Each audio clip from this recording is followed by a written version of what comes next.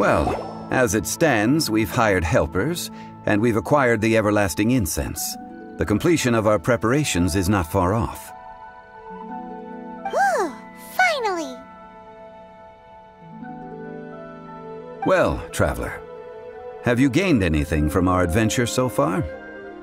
Odd?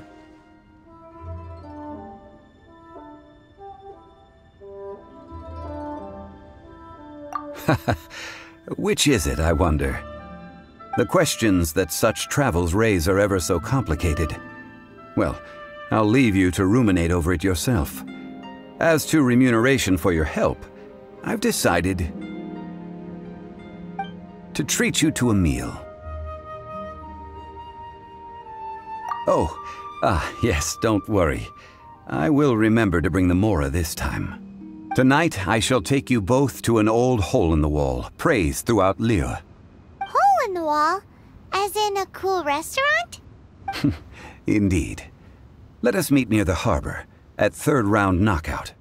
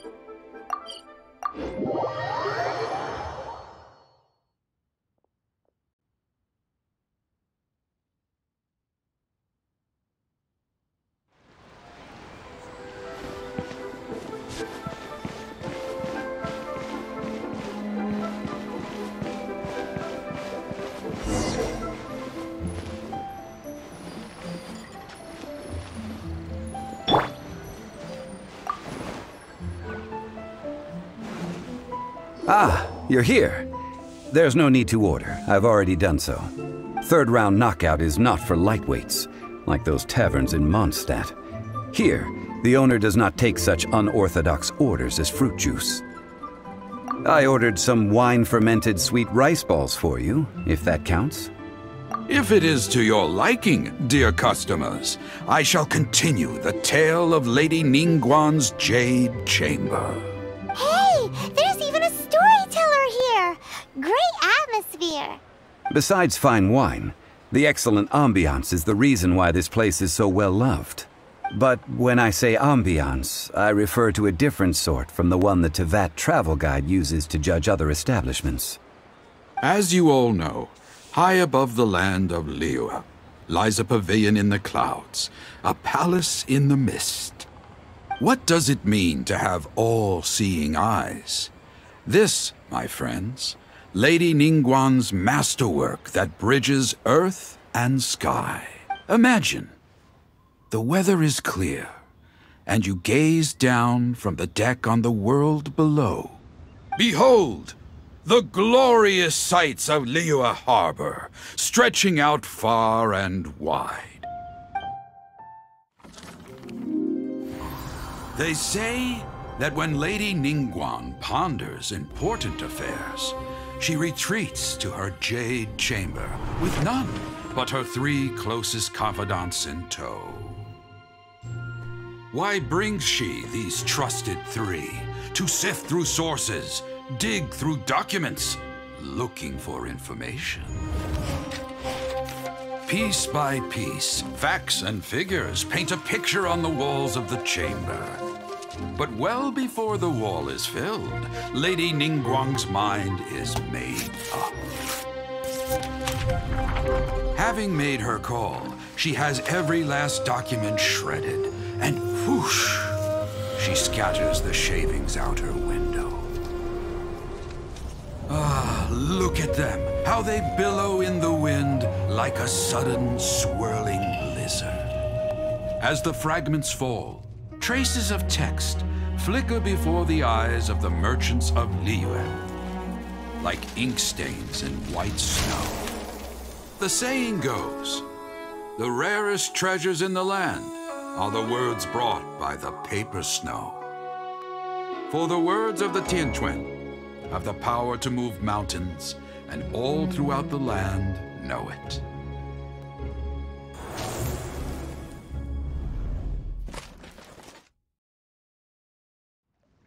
These are but scraps of paper, and yet they guide Lady Ningguang's hand. Such is their value. Merely grasping one or two of them will surely gift you a fragment of her wisdom enough to stay a step or two ahead of your peers. Tianquan Ningguang. Feels like we're hearing this name a lot. Liyue locals talk about her. The Fatui hate her. She's most likely the one who hid the Exuvia, and we saw her at the Rite of Dissension. Huh. Paimon wonders what sort of person she is. At last I have found you. You who returned from Jueyun Karst. Who's there? Wait, I am not with the Millelith, nor am I here to claim your bounty. However, I am an emissary of the Liyue Qixing. My name is Ganyu, secretary at the Yuehai Pavilion, and I have come specifically to meet you. Well, in concrete terms, I am the corporate secretary for the Qixing. At the moment, I am serving as Lady Ningguang's special emissary. Ningguang sent you? We were literally just talking about her. My apologies, you who have returned from Jueyun Karst. I am duty bound and cannot extend my courtesy to you in full.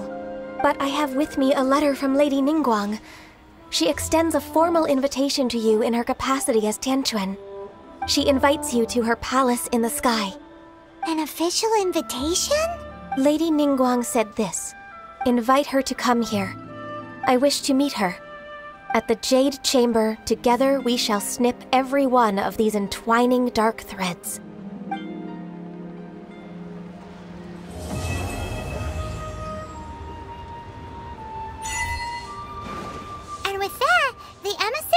Herself Ganyu just disappeared. But we've received an invitation from the Liyue Qixing. Paimon still can't believe it. We'll be meeting people that have way more money than Paimon could ever count. We should be on our best manners.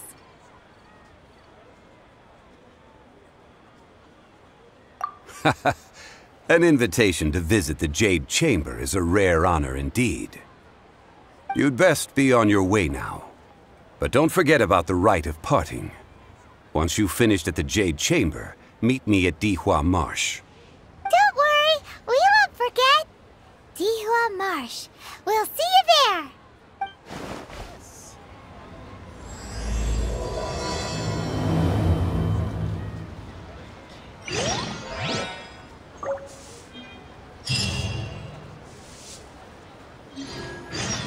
Listen, let me tell you how it is.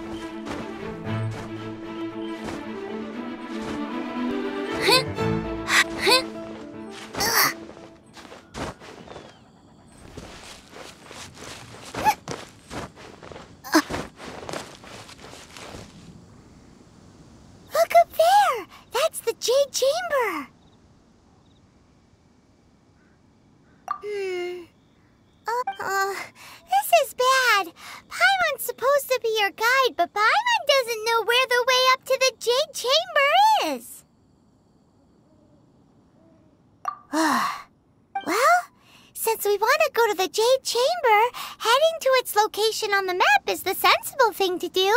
Let's look around. There has to be a way up there nearby.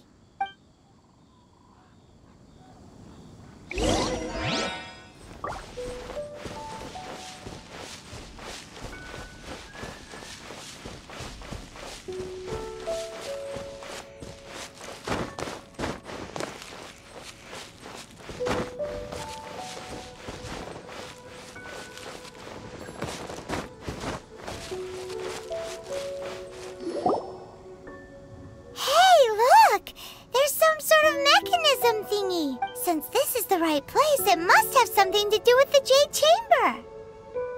Yes, this must be the way.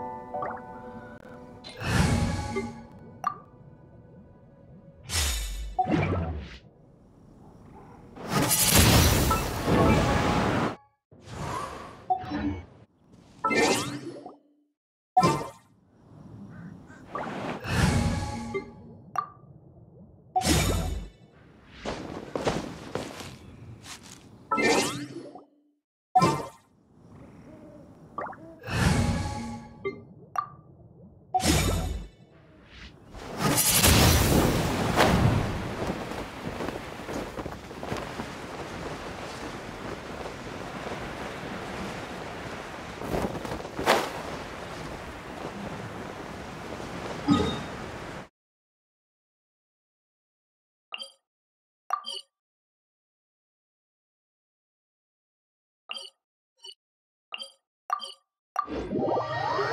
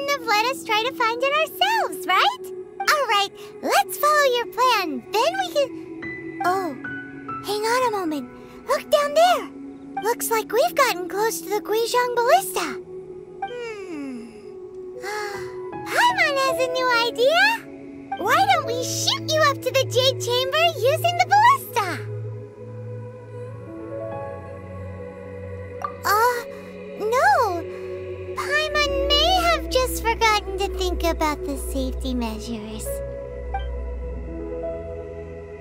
Oh, that's right.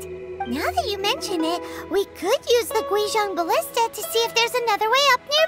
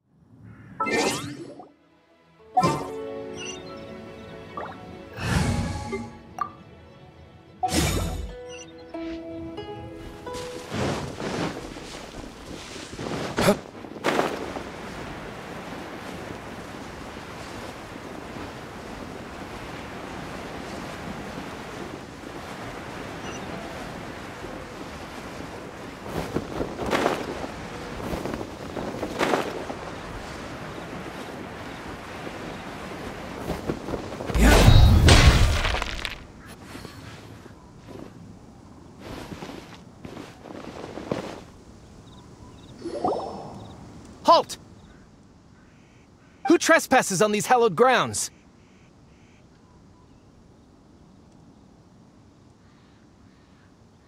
Exactly. What are you talking about?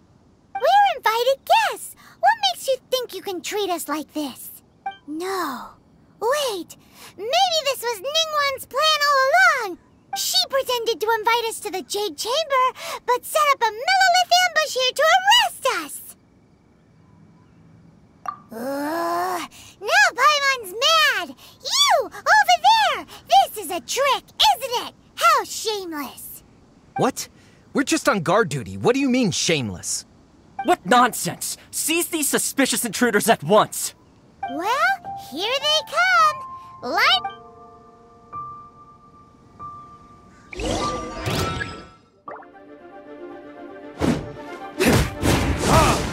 Midnight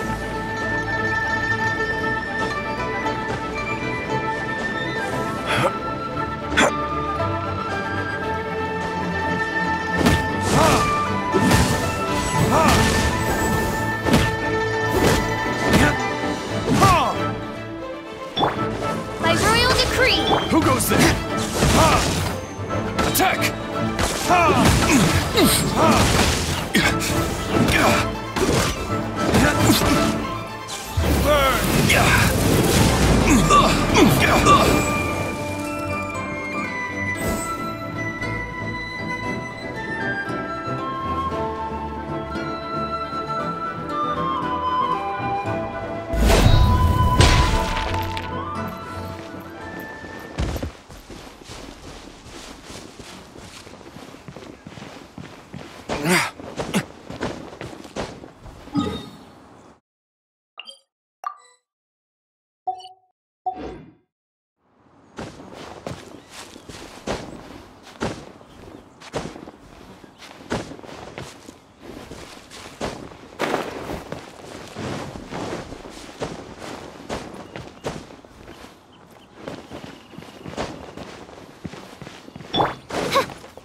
goes there?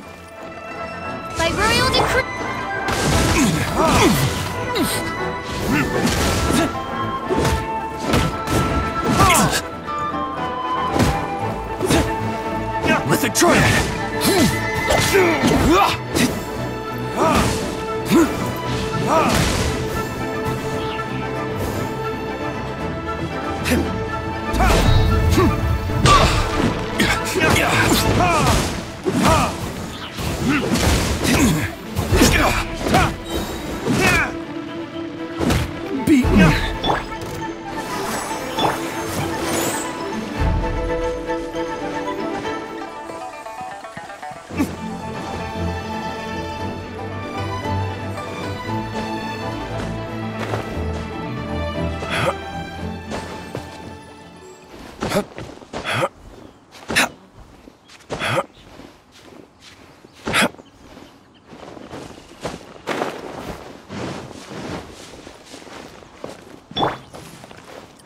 Goes there?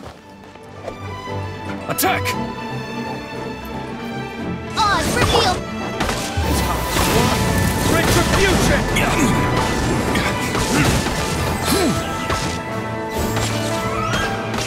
Take the target alive! Take this! Midnight Phantasmagoria! Attack!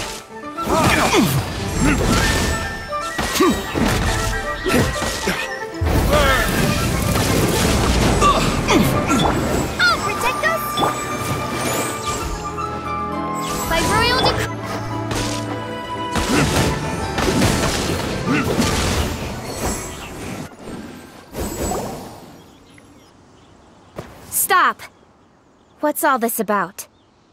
Lady Keqing, these two strange people suddenly appeared. They seem to have designs on the Guizhong Ballista. Who are you calling strange? Hmm? You want to go to the Jade Chamber? Who are you? We're invited guests here to look for the Liyue Qixing. Who are you? Well, as it happens, I am one of the Liyue Qixing. I'm Keqing, the Yuheng of the Qixing. I know of you, traveler. You're Ningguang's guests, yes? Didn't expect to meet you here in the mountains. wow. Paimon didn't think we'd meet some super rich big shot out here in the middle of nowhere either. The Guizhong Ballista in Tianheng Pass has long been in disrepair, and yet it was fixed in a single night. I came here to investigate that occurrence. These Millelith are just here to guard the scene, not to arrest anyone. So this was all a misunderstanding? Paimon never would have thought. Anyway, for a mortal to be able to repair an Adepti mechanism is quite the mystery, even to the Qixing.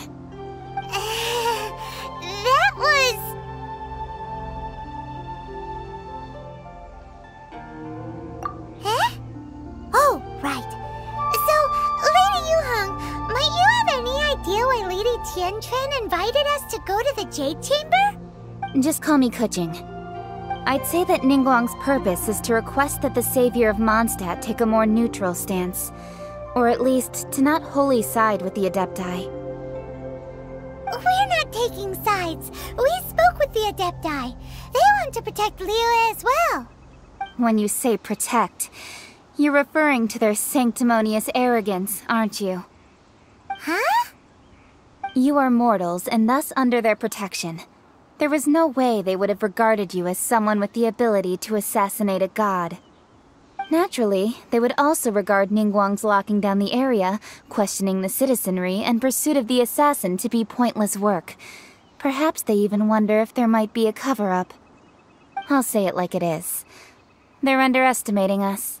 Well, you've got a point there. Still, this is the first time Paimon's seen a person from Liyue who doesn't respect the gods or the Adepti.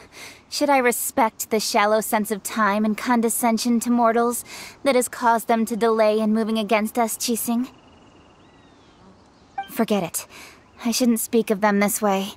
This skepticism is mine alone, and Ningguang does not share it.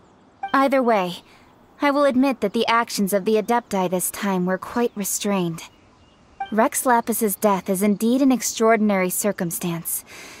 But to think that they would call for a council of Adepti rather than come down here directly. How surprisingly civilized of them.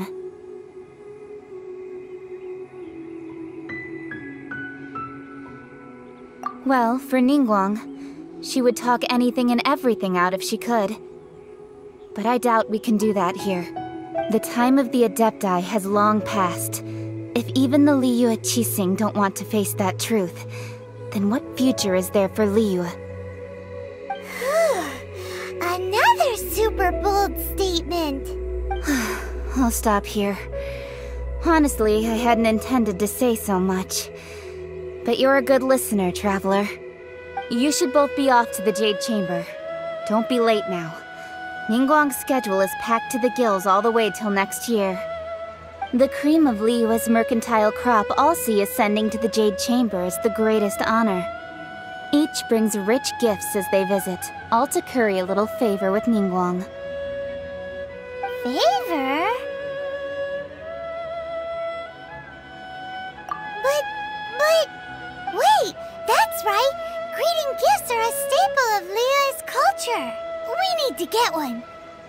To curry favor or anything, just to respect Liyue's culture.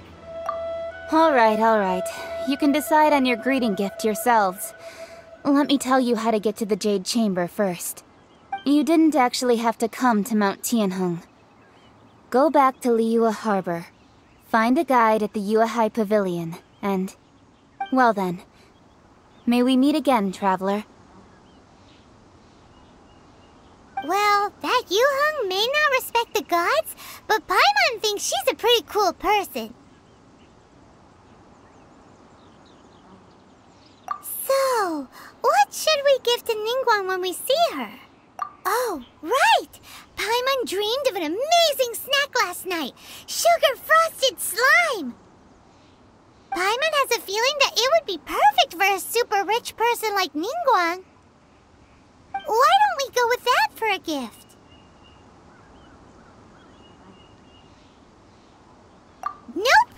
But Paimon's sure that we just need to make it with some boom shakalaka. Let's go gather ingredients. Time waits for no one, and neither will our riches.